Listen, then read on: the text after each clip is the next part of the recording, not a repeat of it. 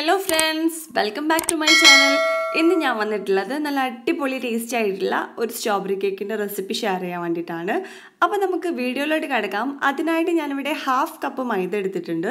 ഇതിലോട്ട് ഒരു കാൽ ടീസ്പൂണിൽ കുറച്ച് ബേക്കിംഗ് സോഡയും അര ടീസ്പൂൺ ബേക്കിംഗ് പൗഡറും കൂടെ ഇട്ടെടുത്തിട്ട് നന്നായിട്ടൊന്ന് സീവ് ചെയ്തെടുക്കുന്നുണ്ട്.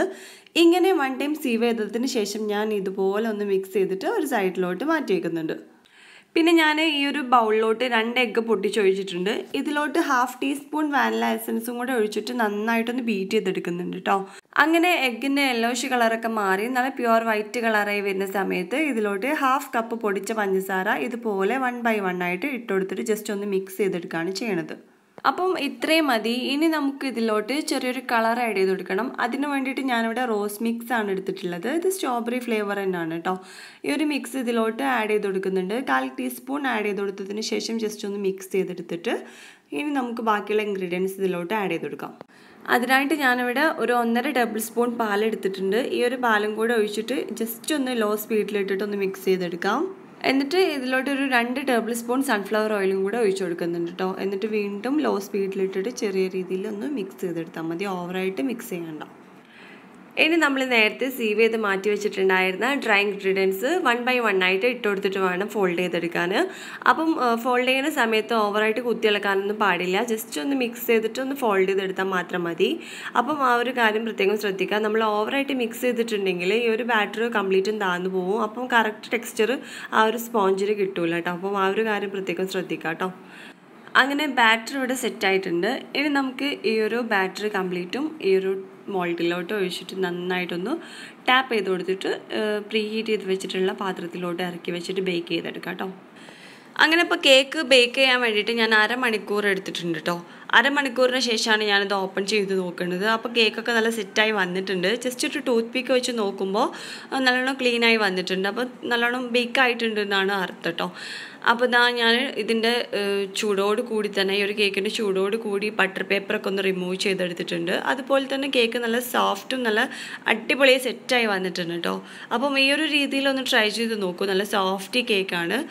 ഇനി നമുക്കിത് ചൂടാറാൻ വേണ്ടി മാറ്റിയേക്കാം. ഇനി നമുക്ക് കേക്കിലോട്ട് ആവശ്യമായിട്ടുള്ള വിപ്പിംഗ് ക്രീം ഒന്ന് ബീറ്റ് ചെയ്തെടുക്കാം. ഇവിടെ ഞാൻ മുക്കാൽ കപ്പ് വിപ്പിംഗ് ക്രീമാണ് എടുത്തിട്ടുള്ളത്. ഇതിലോട്ടൊരു ഹാഫ് ടീസ്പൂൺ വാനില എസൻസും കൂടെ ഒഴിച്ചിട്ട് ജസ്റ്റ് ഒന്ന് ബീറ്റ് ചെയ്തെടുക്കാം. ഇതിപ്പോൾ നല്ലോണം ബീറ്റായി നല്ല സ്റ്റിഫായി കിട്ടിയിട്ടുണ്ട്. ഇനി നമുക്കിത് ഐസിങ് ചെയ്ത് തുടങ്ങാം. അതിനായിട്ടൊരു കേക്ക് ബോർഡ് എടുത്തിട്ടുണ്ട്. ഇതിന്റെ മിഡിലായിട്ട് കുറച്ച് വിപ്പിംഗ് ക്രീം ഒന്ന് സ്പ്രെഡ് ആക്കി കൊടുക്കുന്നുണ്ട്. എന്നിട്ട് ഫസ്റ്റ് ലെയർ കേക്ക് വെച്ചിട്ട് ഒന്ന് വെറ്റ് ചെയ്തെടുക്കാം. ഇപ്പം ഞാനിവിടെ ഷുഗർ സിറപ്പ് വെച്ചിട്ടാണ് വെറ്റ് ചെയ്തെടുക്കുന്നത്. അര കപ്പ് വെള്ളത്തിന് അര കപ്പ് ഷുഗർ വെച്ചിട്ടാണ് ഈ ഒരു ഷുഗർ സിറപ്പ് റെഡിയാക്കി എടുത്തിട്ടുള്ളത്. എന്നിട്ട് നന്നായിട്ട് തണുപ്പിച്ചതിന് ശേഷമാണ് ഈ ഒരു കേക്ക് വെറ്റ് ചെയ്യാൻ എടുത്തിട്ടുള്ളത് കേട്ടോ ഇനി നമുക്ക് ക്രീം വെച്ചിട്ടൊന്ന് കേക്ക് ഒന്ന് സ്പ്രെഡാക്കി കൊടുക്കാം കേട്ടോ പിന്നെ ഈ ഒരു കേക്കിന്റെ ഫില്ലിങ്സിന് വേണ്ടിയിട്ട് ഞാനിവിടെ കുറച്ച് ചെറി കട്ട് ചെയ്തെടുത്തിട്ടുണ്ട്. ഈ ഒരു ചെറിയും കൂടെ ഒന്ന് സ്പ്രെഡാക്കി കൊടുത്തതിന് ശേഷം കുറച്ച് വൈറ്റ് ചോക്കോ ചിപ്സും കൂടെ എടുത്തിട്ടുണ്ട്. അതും ഒന്ന് സ്പ്രെഡാക്കി കൊടുക്കാം. പിന്നെ കുറച്ച് ടൂട്ടി ഫ്രൂട്ടിയും കൂടെ എടുത്തിട്ടുണ്ട്. ഇനിയിപ്പം ഇതൊന്നും ഇല്ലെങ്കിലും വൈറ്റ് ചോക്കോ ചിപ്സ് മാത്രം ഇട്ടാലും മതി. അല്ലെങ്കിൽ ചെറി മാത്രം ഇട്ടാലും മതി. ടോപ്പിന്റെ കയ്യിലുള്ളതുകൊണ്ടാണ് ഞാൻ എടുത്തിട്ടുള്ളത്.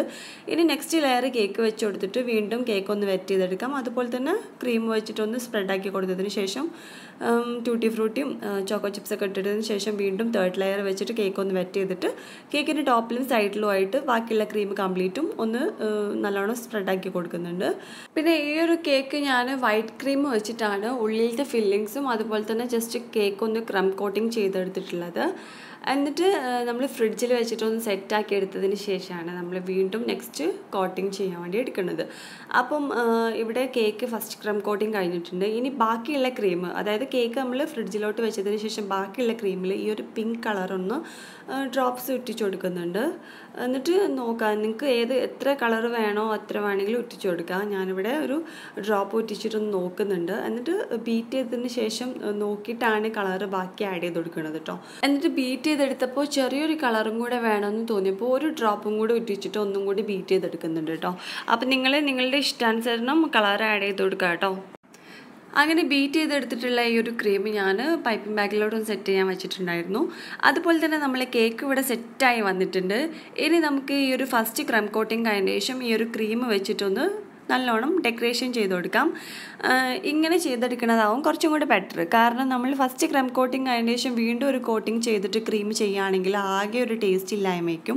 അപ്പം ഇതുപോലെ ചെയ്തെടുക്കുകയാണെങ്കിൽ കേക്കിന് നല്ലൊരു ടേസ്റ്റും ഉണ്ടാവും കേട്ടോ അപ്പോൾ ഇങ്ങനത്തെ ഡിസൈൻ ചെയ്യുന്ന സമയത്ത് ഫസ്റ്റ് ക്രം കോട്ടിങ് കഴിഞ്ഞ ശേഷം ഇങ്ങനെ ഡിസൈൻ ചെയ്തെടുക്കുക. അല്ലെങ്കിൽ നമുക്ക് കേക്കിന്റെ ടേസ്റ്റ് അങ്ങനെ മാറിയിട്ട് ക്രീം മാത്രം ഒരു കുത്തണ ഒരു ടേസ്റ്റ് ആയിരിക്കും. അപ്പോൾ ഇങ്ങനെ ചെയ്തെടുക്കുമ്പോൾ കുറച്ചും കൂടെ നല്ലതാണ് കേട്ടോ അപ്പം കേക്ക് ഞാൻ വീണ്ടും ഫ്രിഡ്ജിൽ വെച്ച് തണുപ്പിച്ചെടുത്തിട്ടുള്ളതാണ്. ഇനി ബാക്കിയുള്ള കുറച്ച് ക്രീമിൽ ഈ ഒരു റെഡ് കളർ ആഡ് ചെയ്ത് കൊടുത്തിട്ട് ജസ്റ്റ് ഒരു ഡിസൈനും കൂടെ ഈ സൈഡിൽ അതായത് കേക്കിന്റെ ഉള്ളിലോട്ട് കാണുന്ന ഒരു സൈഡിലൊക്കെ ഒന്ന് ഇങ്ങനെ ഡോട്ട് ഇട്ട് കൊടുക്കുന്നുണ്ട് കേട്ടോ ഈ ഒരു നോസിൽ വെച്ചിട്ട്. അപ്പോൾ ഇങ്ങനെ ചെയ്തെടുക്കുമ്പോൾ കുറച്ചുകൂടി ഒരു ലുക്ക് കിട്ടും. സ്ട്രോബെറി ലുക്ക് കിട്ടും. അപ്പോൾ അതുകൊണ്ടാണ് ഇങ്ങനെ ചെയ്തെടുത്തിട്ടുള്ളത്. അപ്പോൾ നിങ്ങൾ നിങ്ങളുടെ ഐഡിയ വെച്ച് ചെയ്യുക. അതുപോലെ തന്നെ എന്റെ ഈ ഒരു കേക്കിന്റെ വീഡിയോ ഇഷ്ടപ്പെട്ടിട്ടുണ്ടെങ്കിൽ ലൈക്ക് ചെയ്യുക ഷെയർ ചെയ്യുക കമന്റ് ചെയ്യുക. കൂടാതെ സബ്സ്ക്രൈബ് ചെയ്ത് സപ്പോർട്ട് ചെയ്യുക. അപ്പോൾ ഫ്രണ്ട്സ് തീർച്ചയായിട്ടും നെക്സ്റ്റ് നല്ലൊരു വീഡിയോ ആയി വരുന്നത് വരെ. ഇൻഷാല്ല ടേക്ക് കെയർ ബൈ